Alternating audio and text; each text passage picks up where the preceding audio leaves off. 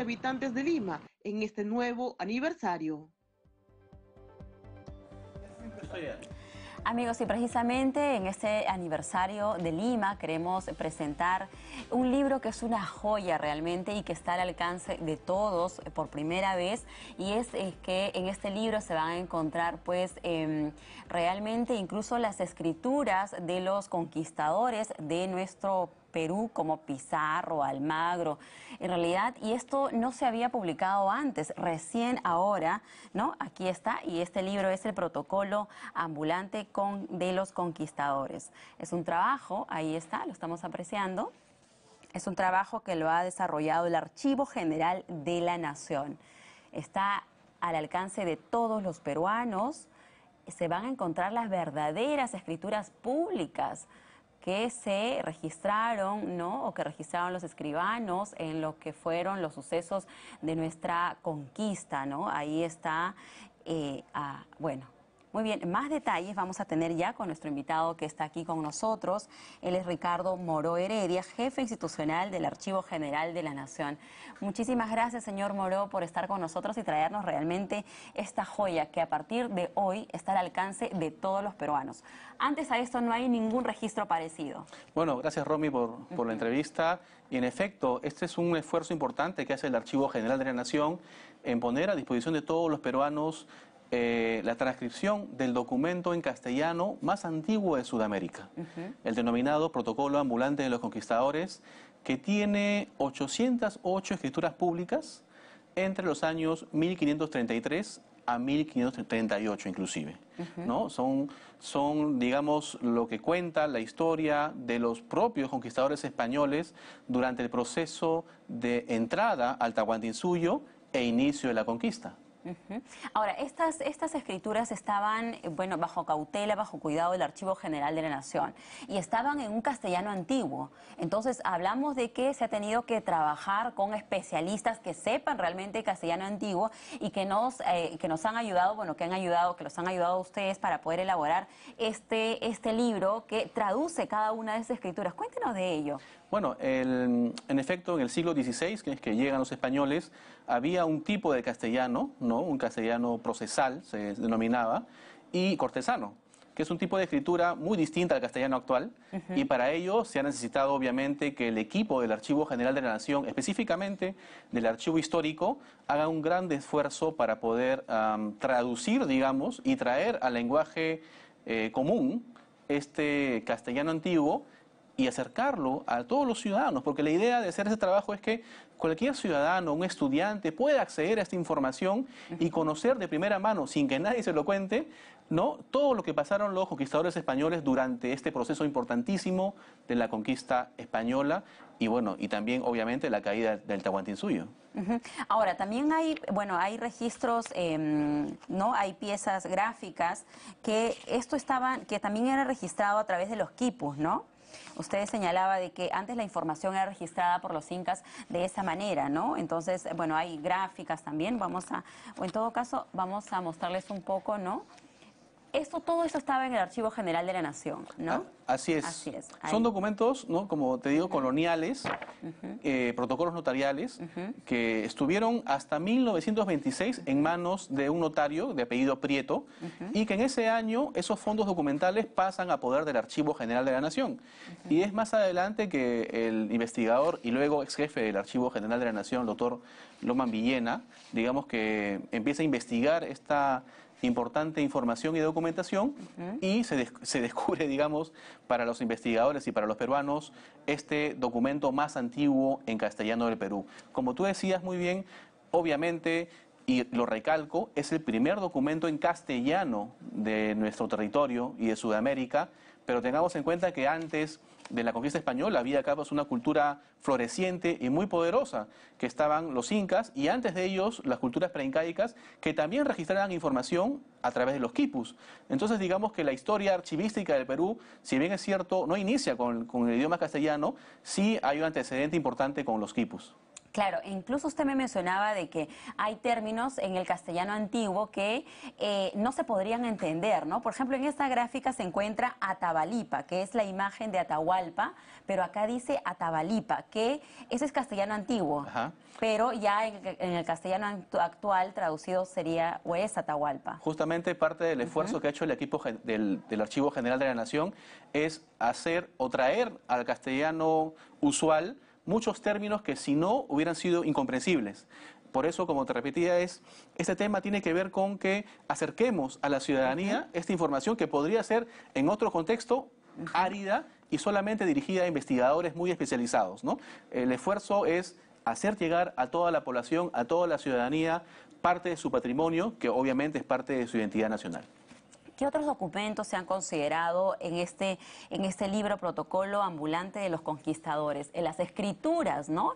Las escrituras, las escrituras públicas, cuéntenos qué realizaron los conquistadores, eh, Francisco Pizarro, sus hermanos también, Almagro, cuéntenos de ellos. Son aproximadamente 808 escrituras, de las cuales el 70% son, son temas asociados a obligaciones, o sea, a deudas y a préstamos que accedían los conquistadores para poder comprar, por ejemplo, caballos, mulas, enseres para la conquista, para la aventura de la conquista, e inclusive esclavos, tanto esclavos negros como indígenas.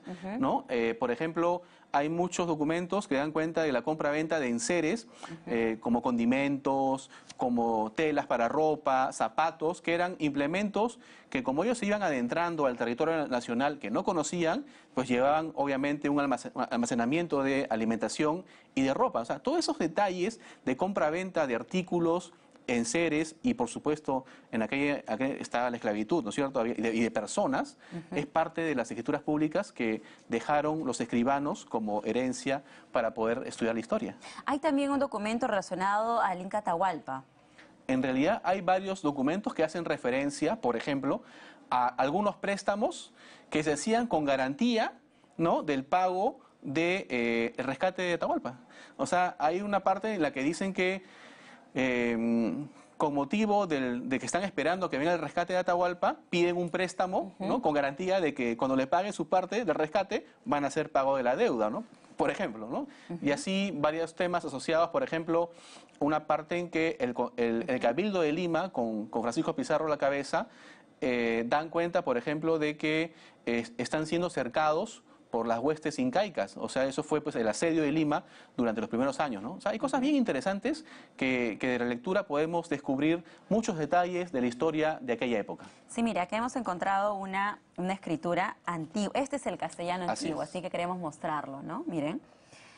A ver, de mi mando, bueno, es muy distinto el castellano antiguo al actual, ¿no? Sin embargo, aquí podemos compartir, acá, mire, esta es una escritura original que estaba en lo que son los archivos, ¿no?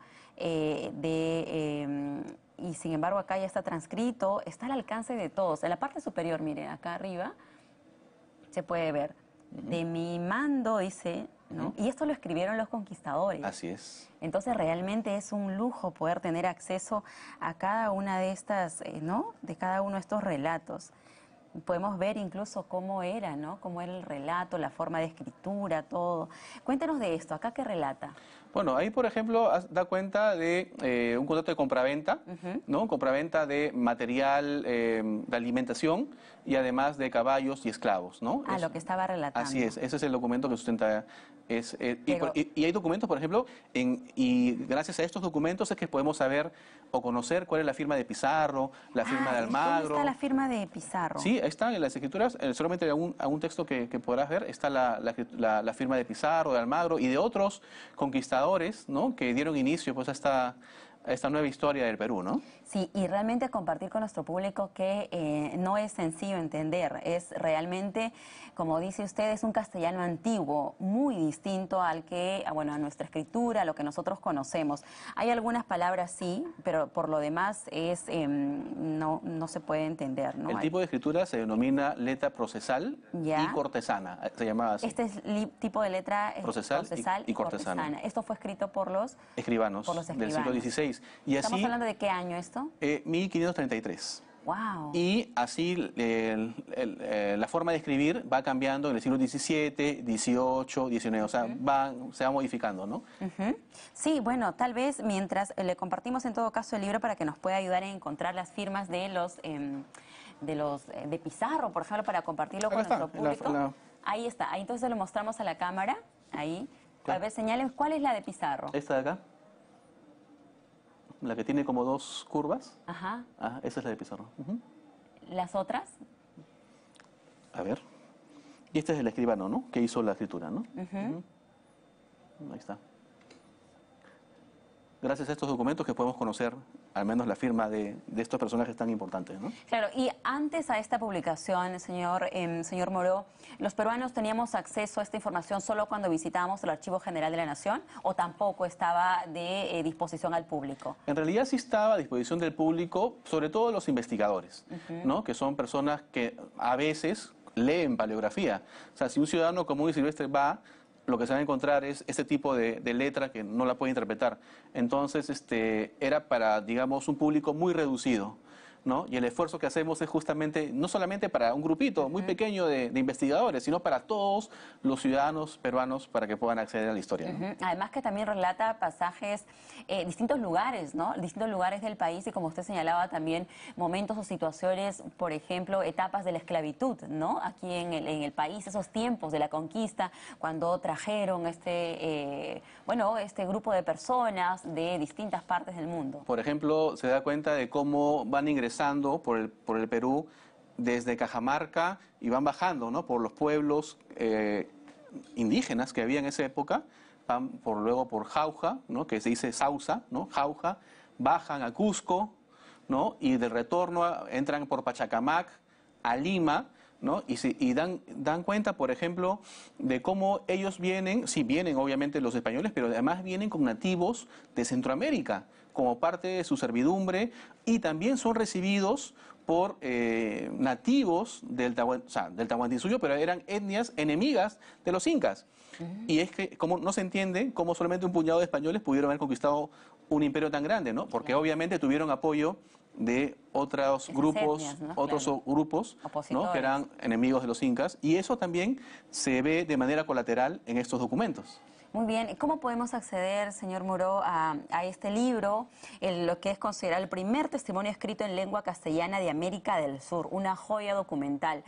Cuéntenos dónde em, uno puede acceder, cómo lo podemos em, comprar, cuéntenos de ello. Este primer eh, tiraje, digamos, ha sido un esfuerzo en conjunto entre el Archivo General de la Nación y em, el Colegio de Notarios de Lima, quien ha financiado este primer tiraje de 600 ejemplares, ¿no? Eh, digamos que, que, seguramente se va a acabar muy rápido, nosotros vamos a entregarlo a las bibliotecas, a las universidades, ¿no? Y a las entidades culturales, pero eh, yo espero que en un máximo de una semana, máximo dos, tengamos ya esta publicación en línea en las redes sociales del Archivo General de la Nación para que cualquier persona lo pueda descargar en su eh, texto completo y lo puedan compartir por todo el Perú y por todo el mundo. Pero de manera física se ha pensado también en más mayor producción. Vamos a reproducir un tiraje mayor y lo pondremos como siempre a disposición de todos los que quieran obtenerlo y toda la información la tendremos obviamente en las redes sociales del Archivo General de la Nación, que es, digamos, nuestro medio de comunicación con el que interactuamos con la ciudadanía. Solo por curiosidad, ¿cuánto tiempo tomó hacer este trabajo?